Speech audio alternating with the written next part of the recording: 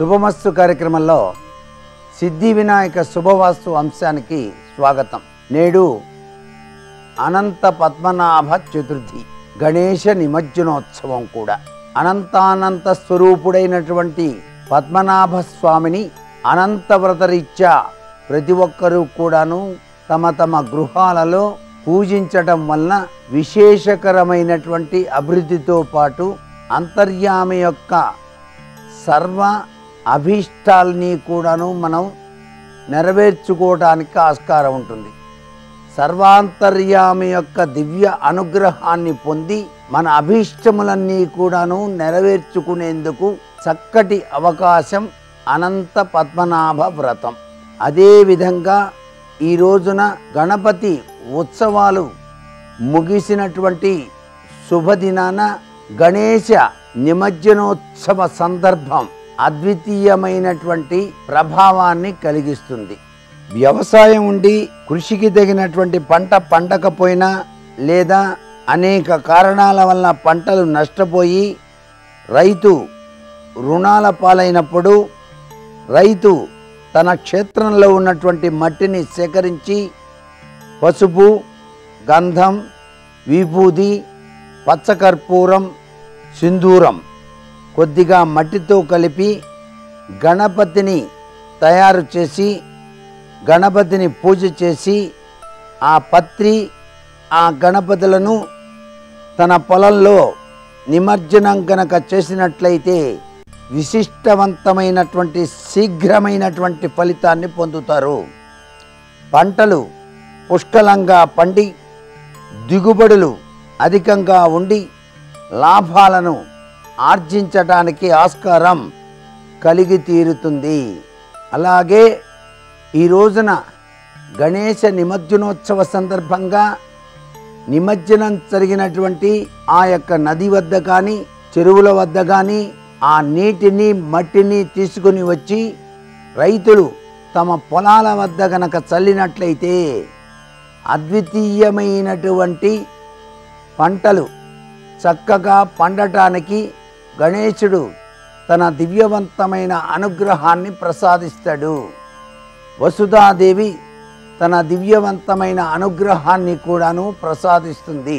అలాగే జిల్లేడు ఆకులు మొదలైనటువంటి వాటినన్నిటినీ కూడాను నిమజ్జనం చేసినప్పుడు వినియోగించినటువంటి ఆ ఆకులలో ఒకటి రెండు ఆకులు ఇంటికి తీసుకొని వచ్చి ఇంటి సింహద్వారం ముందు భాగాన గనక తగిలించినట్లయితే అద్వితీయమైనటువంటి అభివృద్ధిని సాధించడానికి ఆస్కారం ఎక్కువగా ఉంటుంది. అధిక ధనలాభాలు పొందాలనుకున్న వాళ్ళు వ్యాపారంలో పోటీని ఎదుర్కోవాలి అనుకున్నటువంటి వాళ్ళు అంగుష్ట పరిమాణంలో గల పచ్చ గణపతి ఈ గణపతిని పూజా మందిరంలో ఉంచి గనక అనునిత్యం గనక పూజించినట్లయితే వ్యాపారంలో అద్వితీయమైనటువంటి అభివృద్ధిని సాధించడానికి ఆస్కారం ఉంటుంది. వివిధ రంగాలలో అభివృద్ధిని సాధించడానికి మీ పూజా మందిరంలో మహాగణపతిని ఉంచి ధూప దీప నైవేద్యాలతో పూజ చేసి మోదకం అటుకులు బెల్లం కలిపినటువంటి పదార్థాన్ని నివేదనగా పెట్టి భక్తులకు పంచాలి. ఈ విధంగా చేసినట్లయితే పురోభివృద్ధి అనేక రంగాలలో సాధించడానికి ఆస్కారాన్ని గణపతి కలిగిస్తాడు. ఇంట్లో అందరూ సుఖంగా ఉండాలన్నా డబ్బు పేరు ప్రఖ్యాతలు నిలబడాలన్నా మీ ఇంట్లోని దీపారాధన కుందిలో తెల్ల జిల్లేడు ఒత్తులతో దీపారాధన అనేటువంటిది ఆచరించండి. దీపారాధనకు కొబ్బరి నూనెను గనక వాడినట్లయితే లక్ష్మీదేవి అనుగ్రహంతో పాటు గణేశుని యొక్క దివ్యవంతమైన అనుగ్రహం మీకు ఎల్లవేళలా కూడాను కలిగి ఉంటుంది. ఇంటిల్లిపాదికి కూడాను మనశ్శాంతి అనేటువంటిది కలిగి తీరుతుంది. ఎటువంటి ప్రమాదాలు జరగకుండా ఉండటానికి జిల్లేడు నారతో చేసినటువంటి జిల్లేడు తాడును కుడి చేతి హస్తానికి మణికట్టు దగ్గర కంకణంగా ధరించుకొని గణేశునికి గనక జిల్లేడు పూలు పూజలో గనక వినియోగించినట్లయితే మీ యొక్క సకల కార్యములు కూడాను నిర్విఘ్నంగా నెరవేర్చడానికి గణేశుడు అనుగ్రహాన్ని ప్రసాదిస్తాడు.